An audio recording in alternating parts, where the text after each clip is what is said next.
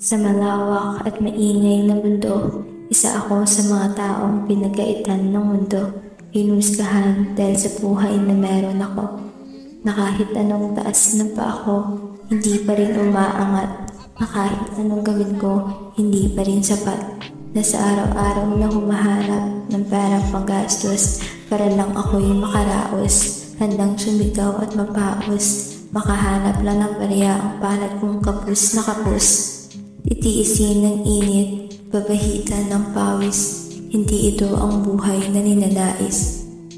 Ginawa ko na lahat, lahat ng trabaho na naranasan ko. Lahat ng oportunidad, pinasukan ko. Kung kailangan, kumayod para matustusan ang pangangailangan ko. Kung kailangan hindi ako matulog, kakayanin ko. Kung kailangan dublihin ang sarili, gagawin ko. Ngunit bakit ganito pa rin ang estado ng buhay ko? May mga pagkain akong gustong bilhin, ngunit hindi ko makain sapagkat kailangan ko munang magpawis at maghirap upang makakain ng pagkain na masarap. Ang init ay kaya kong tiisin para ang 50 pesos ay magawa kong pagkasyahin. Bahala na kung ano ang kayang bilhin. Hindi madali ang lahat. Minsan gusto ko nang sumuko kasi nakakapagod na maging ako na sa araw-araw na pagising ko, may bagong sakuna akong haharapin. Hindi ko alam kung saan ko hahagilapin. Hindi ko alam kung ano ang aking gagawin. Mahirap ang maging mahirap. Lahat ng pait akin ang nalalasap. Lahat ng musga ng mundo aking mahaharap.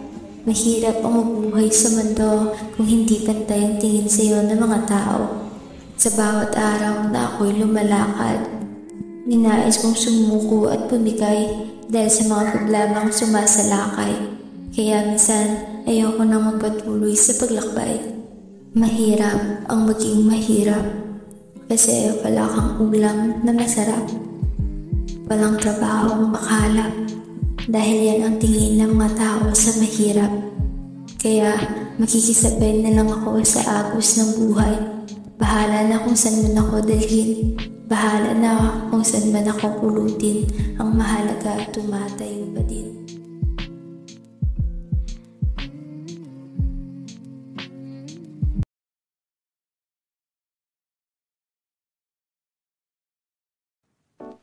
Magkaiba ang buhay ko sa buhay mo. Ako ay mayaman, ikaw naman ay mahirap. Kaya hindi mo maikukumpara ang buhay mo sa buhay na meron ako. Sapagkat sa bawat oras at pawis na pumapatak sa iyo ay katumbas ng mga oras na nagpapakasata ako sa buhay ko. Ngunit ganito pa talaga ang mundo. Sadyang napakalupit ng mundo sa may hirap na kagaya mo. Hindi katulad ko na nagpapakasaya sa buhay na meron ako. Kapi dito, kapi doon, yan yung isa sa mga ginagawa ko. Habang ikaw, nagpapakahirap maglako. Ang sarap ng buhay sa karangyaan. Hindi pong pagising mo sa umaga, hindi mo na naisip kung may pagkain ka pa ba o wala na. Ito yung buhay na kinaiingitan ng lahat sapagkat hindi mo kailangan magpakahirap